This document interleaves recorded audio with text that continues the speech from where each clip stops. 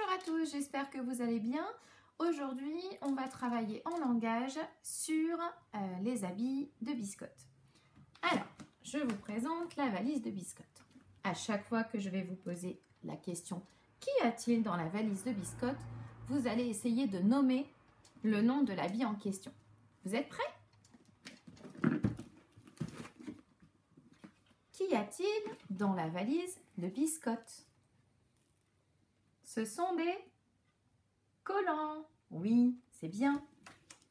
Qu'y a-t-il dans la valise de biscotte Ce sont des chaussures. Qu'y a-t-il dans la valise de biscotte Ce sont des gants.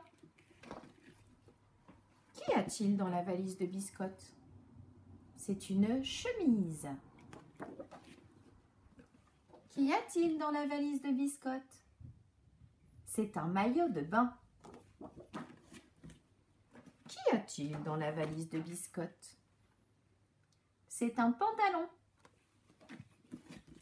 Qu'y a-t-il dans la valise de biscotte C'est un short. Qu'y a-t-il dans la valise de biscotte Un t-shirt. Qu'y a-t-il dans la valise de biscotte une casquette. Qu'y a-t-il dans la valise de biscotte Une écharpe. Qu'y a-t-il dans la valise de biscotte Un manteau. Qu'y a-t-il dans la valise de biscotte Des chaussettes. Qu'y a-t-il dans la valise de biscotte Une robe.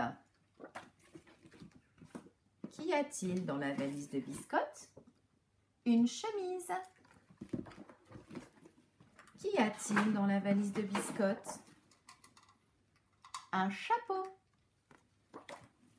Qu'y a-t-il dans la valise de biscotte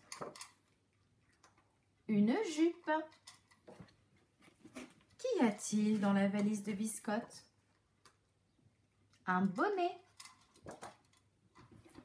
A-t-il dans la valise de biscotte Il n'y a plus rien dans la valise de biscotte. À bientôt